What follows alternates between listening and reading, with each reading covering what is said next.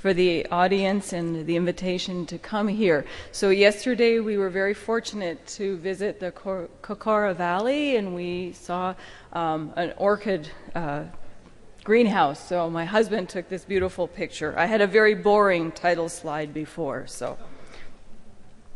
So, this case, I'm, the reason I have this interest in food allergy is that lots of patients come to see us. They think because we're gastroenterologists, we know why they have trouble when they eat food or when they have a bad reaction to food. So these I'm going to talk about adverse reactions to food. So I'm going to talk about some two cases of food-induced emergency situations. This actually was the colleague of a wife. She was a lawyer who worked at the University of Virginia and they were neighbors of some friends who were moving to another university. So we had dinner at our house and this woman, while I was in the kitchen with my husband, started to get wheezing, chest tightness, lightheaded during the first course. We had served a consomme soup of tomato with a slice of avocado and lobster meat. And I say we, it's really my husband. I'm just the sous chef. Um, and luckily for me, one of the other guests was a pulmonary fellow. She actually was trained in Austria, but she was doing training again in the United States. So she was able to help the lady with uh, inhalers, and she started to feel better. The guest reported that she had known allergy to latex rubber and that she was also allergic to shrimp. The next case is another patient that I heard of that they asked for assistance. He was a 28 year old waiter. He worked in, the, um, in a restaurant and he came in very late at night to the emergency room with progressive headache, flushing, wheezing. He was found to be hypotensive, tachycardic. His respiratory rate was 24. He was afebrile. His neurological examination was normal. His skin was normal, no hives, no rashes, and his abdominal exam was unremarkable. He never had an illness like this until that day he presented in the emergency room, and he felt well until he started his work in the evening as a waiter. His only past medical history, I spelled it wrong, was an appendectomy at age 13. So I'm going to come back to these cases later. So, two different types of adverse reaction to food. So, we categorize adverse reactions to food into two major types one called food allergy or food hypersensitivity, and this includes different types of immune reactions to food. And it can include an acute hypersensitivity, where typically the allergy that people have when they eat a peanut or they eat seafood and they get nausea, vomiting, they can get respiratory symptoms, GI symptoms, or dermatological symptoms. Then there's allergic eosinophilic gastroenteritis, and we now know more about this condition, perhaps because of eosinophilic esophagitis, which is clearly associated with food allergy, but it can also affect the stomach, the small bowel, and even the colon. Then we have these disorders that affect children that are a form of colitis or enterocolitis, and they're sensitive to different types of food proteins, typically cow's milk, but also soy um, and rice and some other proteins that cause this syndrome. And the other one I just talked to you about before the break, celiac disease, which is a T cell mediated immune response. Then there's this category that's far more common which are the non immune or so called intolerances of food. And so non celiac gluten sensitivity would fall in this category. Pseudo anaphylactic reactions, food poisoning, food toxicity, pharmacological reactions to food, metabolic reactions, lactose intolerance, idiosyncratic reactions, and psychological reactions. I won't talk about all of them because some of them are not so much emergencies. So, this is another nice way of looking at the, the division between the two types of the ones in red are the immune reactions, and the non immune are shown in green. And here we have the major types of it the um, IgE mediated, which would be the oral allergy syndrome, hives would be examples of it, and the other ones are different types of immune mechanisms. The pharmacological food reactions typically do not include gastrointestinal complaints. They typically present to people who look after um, like pulmonary or respirology, people who are skin specialists, or to allergists. So, syndromes where there's increased amounts of histamine in very aged cheeses, they're very old cheeses, um, tuna and other scombroid type of fish that have been sitting around they decompose and they release a lot of histamine. So when somebody eats the flesh of these older fish, they get a very high level of histamine that mimics the symptoms to some extent of anaphylaxis, causing wheezing, causing flushing, and headache. Doesn't typically cause GI symptoms, this scombroid poisoning. And then there's chemicals we add to our food, to our wine, sulfites, tartrazine, MSG, caffeine, and amines, but they rarely cause gastrointestinal problems. So the immunological reactions to food, I've touched on them, the food hypersensitivity, the celiac disease, and in children, these more complex enteropathies. So in the US, 4 to 5% of the population actually have food allergy. I don't know what the statistic is in Colombia the same? Nobody knows? No, no idea. Okay, all right. And then of the patients who have food allergy, many of them have associated what we call atopic tendencies or allergic tendencies. 30 to 40 percent of them will have a history of asthma or eczema, which is also called atopic dermatitis. These days, in most of the western part of the world, Europe, Australia, uh, Canada, and the US, about 50% of the cases of anaphylaxis seen in the emergency departments are now due to food allergy. Food allergy is now more common than anaphylaxis to drugs or to insect stings in most of these countries that I mentioned. 70% of patients with food allergies have a family history of allergy and other atopic diseases, but 20 to 30 percent of the population think they have food allergy. I'm sure that all of my colleagues here from the US and other parts of the world, and certainly in Colombia, think they have food allergy when they come to see, see you. But most of them have food intolerances, either spe- specific or non-specific. Many patients with IBS or functional GI disorders have food intolerances not due to specific mechanisms, and certainly food allergy would be a relatively rare cause of, of these presentations. So I already said some of this. We know from studies that patients who have functional disorders, either psychiatric, psychological, or gastrointestinal functional GI disorders, have a likelihood of having adverse reactions to de- drugs and adverse reactions to foods. The actual incidence of food allergy is not calculated accurately in most of the world, most of the studies of food allergy come from the US, from Scandinavia, and some other European countries. So, again, the estimate is growing in many of the westernized world, and it's thought to be this due to this thing called the hygiene hypothesis. As we change the microbiome, the bacteria and other organisms we have in our GI tract, we're seeing this increase in autoimmune disorders like celiac disease and many other types of autoimmune conditions, but also an increase in allergies worldwide in, in the developed or industrialized nations. We don't know for sure what the mechanism is, but this hygiene hypothesis has been put forward. It's so important in the US now about this threat of food allergy is it made the cover of Newsweek. It has changed our policy on, for example, peanuts. Peanuts are 0.5% of the US population is allergic to peanuts now, and because it's the major food allergen that causes death, it can cause a very nasty reaction. It's common in schools now that children cannot bring peanut butter cookies, peanut sandwich, peanut butter sandwiches, or things like that to the school because of kids sharing or tasting a bite of another kid and, and having this reaction. So, some of the key information we need to know is that the several societies now got together in the US and they defined food allergy as an adverse health effect arising from a specific immune response that occurs reproducibly on exposure to a given food. There are some food allergies that it appears children will outgrow egg, milk, it used to be thought that peanut you had for life, but now there's studies that show about 20% of children will lose the IgE anti peanut allergen level will go down over time.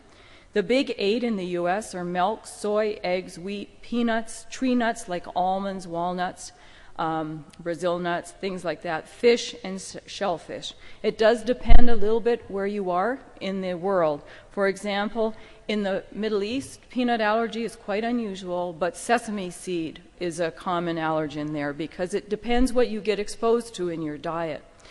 So, about 50% on average of individuals with food allergy will have GI symptoms. It can start in the mouth and then it moves down, so there's nausea, vomiting, diarrhea, and abdominal pain. The other major systems that are affected are the skin, the respiratory tract, and if it's severe enough, systemic with anaphylaxis. So the skin reactions you can see in the small picture on the arm, urticarial lesion, the hives, and this lip swelling from oral allergy, respiratory symptoms, and the, we do have GI syndromes, the oral allergy syndrome, and from GI anaphylaxis. So there are some risk factors for people who have risk of anaphylaxis. So, any patient who's previously had an anaphylactic reaction to a food or something else should be prepared to have epinephrine, EpiPen. I assume you have those, uh, the same type of thing in Colombia. People who have respiratory symptoms are worrisome and they're predictive that maybe their next attack will be anaphylactic. There are certain allergens, peanuts, tree nuts, fish, and seafood, are more likely to cause anaphylaxis than, let's say, cow's milk or corn or things like that. Uh, thank you. Or taking a beta blocker or an angiotensin converting enzyme also increases the risk. And the reason for that is they dampen, they negate some of the symptoms of anaphylaxis with the sympathetic drive, and so that people don't recognize that somebody is going into anaphylaxis if they take these drugs. So, peanut allergy, I already mentioned, is very common in the US. It has varying presentations, but it is the number one cause of anaphylaxis in the US and probably in Canada as well, where this, these are nations that eat a lot of peanut butter and peanuts. The dose can be very small. Many patients don't recognize that they have already been exposed to the antigen, and then their first time they eat it, they have anaphylaxis. Seafood is another example. When I was training in Canada, there was a gastroenterologist from Toronto who refused to shake hands with people anymore because once at DDW, Digestive Disease Week, he shook hands with someone who had been eating shrimp and he was allergic to shrimp. And so, somewhere during the reception, he licked his fingers and he got anaphylaxis and sustained a heart attack. It's not funny, but it just shows you how severe some of these reactions can, can be. So, some people will lose sensitivity to peanut, and often these individuals have other allergies beyond peanut as well. The oral allergy syndrome is something I think, as gastroenterologists, you should be aware of because the mouth belongs to us, it's part of the digestive tract. So, some patients and also lots of allergists and dermatologists won't be so familiar with allergy syndromes that affect the mouth. It's a very localized IgE allergy. It does not involve the respiratory tract or the skin, it's typically just in the mouth. Some of them have a form fruste, it's not a full blown thing where they just feel tingling and their lips start to swell, their tongue starts to swell and they don't always know what's going on. But these individuals can end up with problems, especially if it starts to affect their throat. Then they feel like they can't breathe, and then they see it as an emergency. So there are cross reactions between different plants and different um, fruits and vegetables that have cross reacting antigens. So some of these individuals have a separate history of pollen allergy or grass allergy. And he, here again, it's the sensitization that causes high levels of IgE to specific proteins in food. And most of you think of proteins in animal products, but there are some proteins in plants as well that give this rise to it. You can see these different pollen food associations. Birch pollen is very common allergy in, the, in Scandinavia, for example. And this is one of the more common ones I see in my practice when people see me, is that they get apples or pears, this type of fruit, gives them these syndromes. So, the main thing, as I'll come to later, is educating your patient about potential cross reacting uh, antigens And they just have to avoid these things and as well be prepared to, to take antihistamines or perhaps even epinephrine. So there's a reaction you can see with different families. Ragweed pollen, I don't know if you get ragweed pollen in um, this part of the, the world. Do you know ragweed? I should have taken a picture. It's a very common allergen in North America.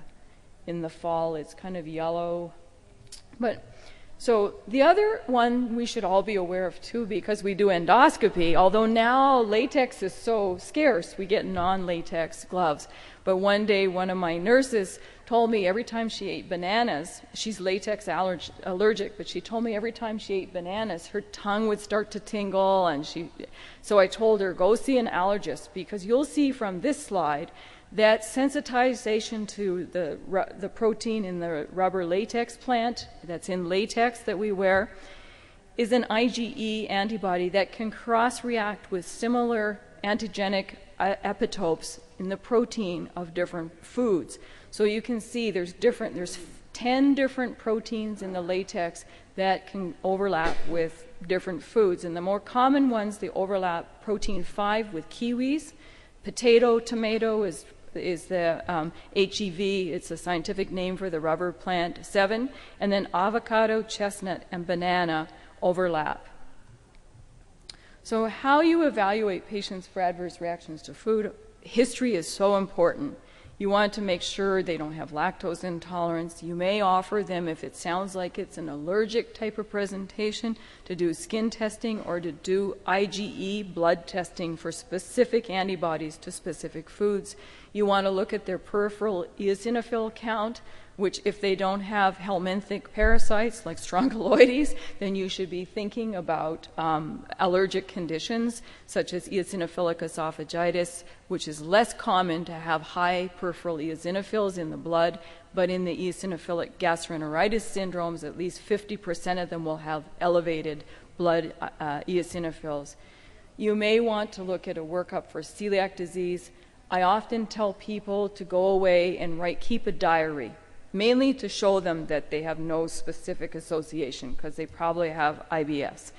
Hypoallergenic trial as well sometimes can be helpful. And then some of these patients need to go on to an endoscopy and biopsy. And I typically biopsy the esophagus, the stomach, and the duodenum in these patients to look for things like increased eosinophils, celiac disease. The diagnostic tools, what I've shown you here on the, the arm, here is prick testing, and these are the positive and negative controls here. And this is histamine that shows the patient is capable of getting an urticarial type of reaction to the histamine. If they take steroids or if they take antihistamines, then they're less likely to have po- truly positive responses. And so the allergist will typically put on multiple different types. And these are um, skin prick tests. There are many other unusual ways that food allergy is diagnosed in North America, which is not evidence based and um, alternate type of practitioners. So sometimes we do a trial of an elimination diet. In some centers that have very um, centers of excellence for allergy, they may do a supervised food challenge to see what symptoms the patients will have. So, the key management of food allergy is avoiding food allergens, to educate the patient. In the US, we were the last major westernized or industrialized country in the world that decided we should start labeling our food for the eight major allergens in 2006. In 2008, we started to label for gluten, but it's still imperfect. imperfect. The other thing is to educate the patient of what symptoms and signs to look for. So, patients who start to get tightness in their chest, feel like they're wheezing, need to be instructed to give themselves epinephrine before they advance to a more severe reaction and also go to the emergency room. In the US, but you can access this website as well anywhere in the world, is the Food Allergy and Anaphylaxis Network based out of um, Virginia. It's a it's a foundation. It's, it's free to access this, the information. It's a very good website for patients who need this one here to actually um, look up information about food allergies. They have information sometimes also about celiac disease, lactose intolerance, other foods, things that aren't necessarily an allergy. The treatments can be antihistamines, mast cell inhibitors, but we don't really have any that are commercially available. Cromolyn, sodium, and corticosteroids.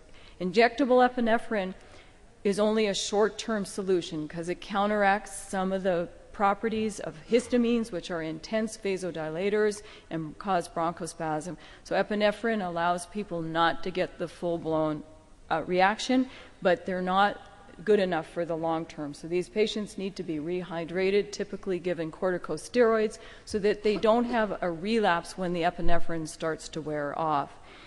Unfortunately, unlike venom stings from insects, from inhaled allergens, oral desensitization or skin desensitization does not work for patients with food allergies. There have been some studies from Italy suggesting benefit, but this is not recommended yet to help. So, back to the cases I told you about at the beginning. So, the first woman, who's a friend of a friend at a goodbye dinner party, who developed shortness of breath after eating in our house a soup that was made out of tomatoes and had a slice of avocado and a slice of lobster on top. So, the differential diagnosis here, in my mind, was that she either had a food allergy to tomato or lobster, because sometimes there's cross, cross reactivity. She had a past history of allergy, allergy to shrimp, or that she had cross reaction of avocado with the latex because she had known latex allergy.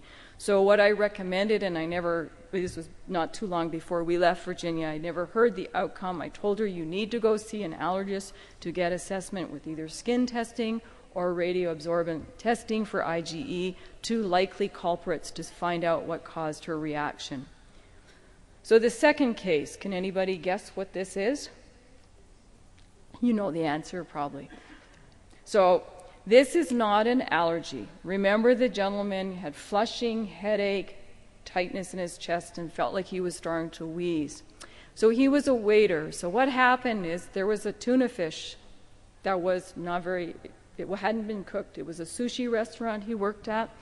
And later that evening, they made some sushi just for the staff, and he ate a lot of this. And so we assumed that he had scombroid poisoning, which is from decomposition of these fish, typically tuna and related types of fish, that decompose.